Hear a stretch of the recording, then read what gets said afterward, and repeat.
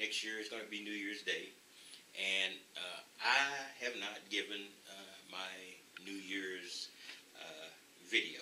I've already done my roundup two weeks ago, and it looked like it was a good time to do it because I have found nothing of consequence these last couple of weeks.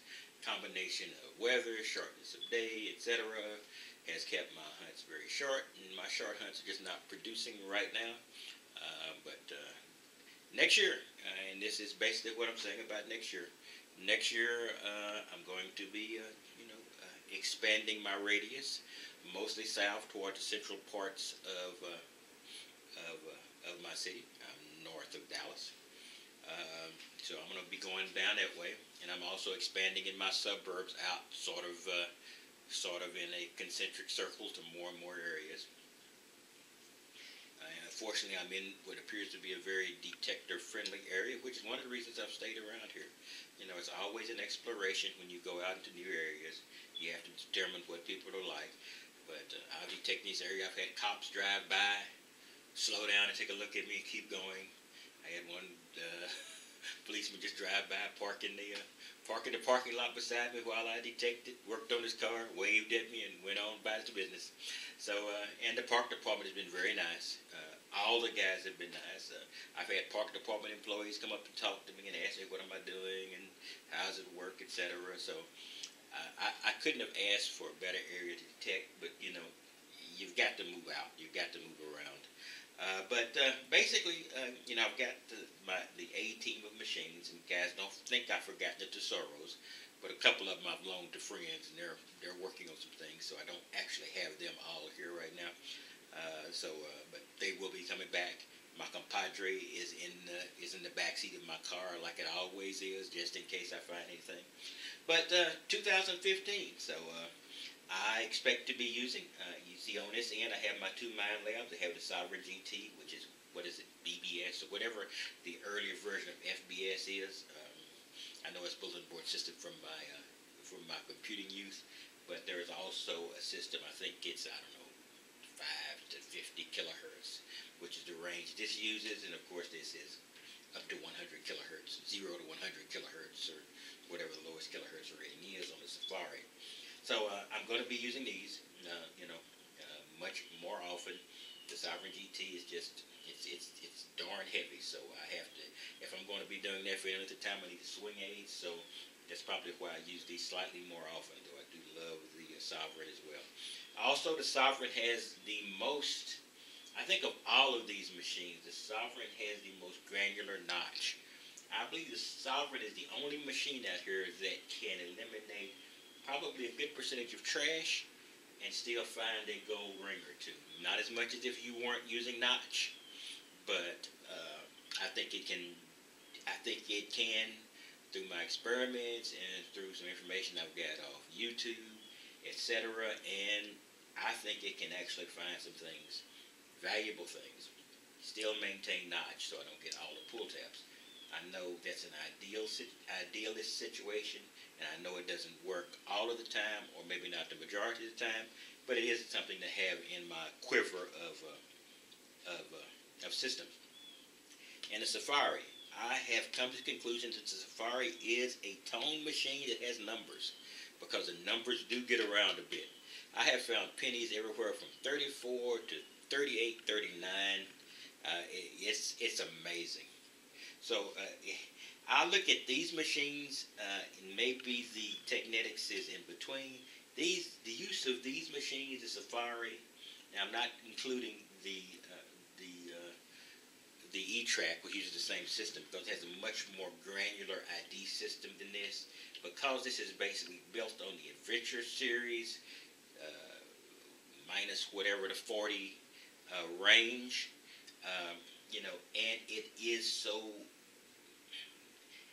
it jumps around a bit. It's very accurate, but that range doesn't allow it to be accurate on the screen as much as an E-Trac. You've got to use this as a tone.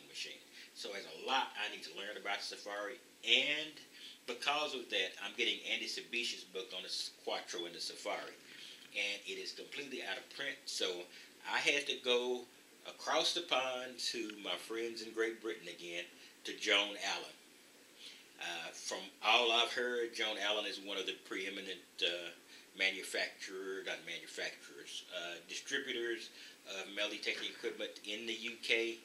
At least I hear that name all the way. If if I'm misconstruing this, my UK people will certainly tell me.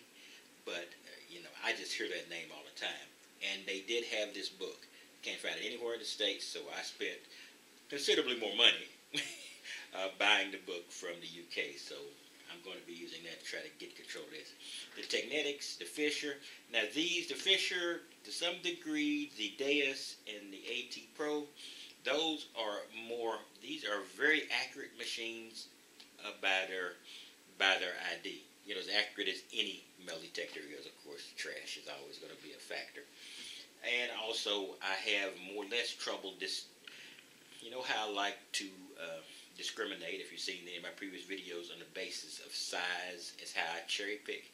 I don't cherry pick on signals, but if it's large, I know I'm not looking for relics in my parks. So if it's large, I'm going to bypass it. So if it happens to be something magnificent, if it's too large, I'm probably going to miss it. I know that's a, a chance I'm taking.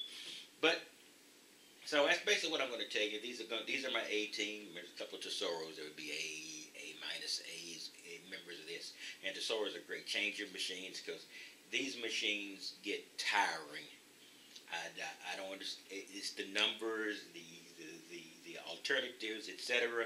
And I just like to grab the uh, the Tesoros, which are just as complex in their reading, but not as complex in their setup, and just go out and detect. So uh, that's basically what I wanted to tell you. I wanted to wish you a very, very, very happy New Year and I want to tell you that I'm going to be getting out. Uh, in fact, right now we have a winter weather advisory for my area. So, all you people who thought the, the weather was always great down here, we do have potential for ice storms for the next day and a half or two. So, uh, it looks like I may be uh, I may be inside for a bit. Yeah, and I need to get rid of this stomach. Yeah, I'm trying to get back up to doing 20 push-ups, and I'm an old guy and uh, so that's not exactly easy for me. But I'm I, I started back at five in the last couple of weeks and got it back up to twelve. So I'm not completely out of uh, I'm not completely out of shape. So that's another that's not going to be a New Year's resolution. That's just my plan for New Year's. I never keep my New Year's resolutions. In any case, uh, uh, that's all I've got. And like I said, uh, uh, uh, this is Andy Sabisch's book on the on the XP Deus. I love love his books. I've had the one on the uh, E-Trac and the uh, the Explorer, and uh, now I'm waiting probably another week or, or so for it to go through the Royal Mail across the pond. God knows how long it'll take it to get through customs and then down here to Texas.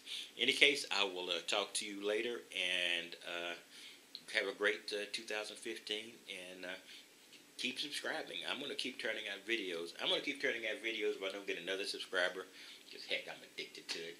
I kind of enjoy it now. Uh, and you're going to be seeing a lot of live digs from me, especially during the winter, because I'm going to be wearing those glasses.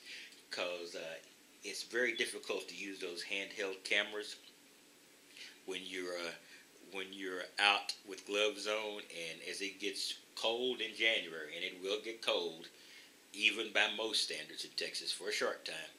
I'm going to, I'm not going to be taking my gloves off.